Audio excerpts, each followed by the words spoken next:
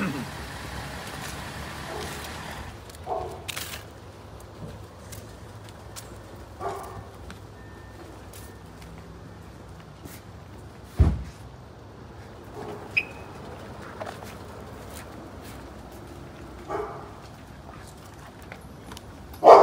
ਵਾਪੀ ਸਹੀ ਬੋਲ ਮੈਨੂੰ ਲੱਗਦਾ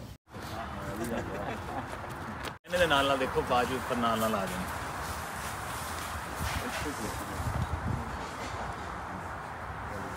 ਬੜੀ ਯੂਨੀਕ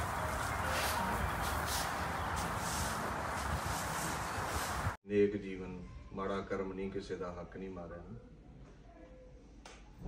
ਬਾਣੀ ਜੇ ਪੜਾਂਗੇ ਕੱਲੀ ਮਹਾਰਾਜ ਕਹਿੰਦੇ ਪਵਿੱਤਰ ਹੋਵਾਂਗੇ।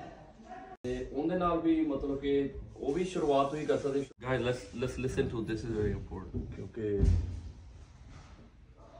ਬਾਣੀ ਨੇ ਦੋ ਗੱਲਾਂ ਲਿਖੀਆਂ ਇੱਕ ਆ ਪਵਿੱਤਰ ਇੱਕ ਪੁਨੀਤ।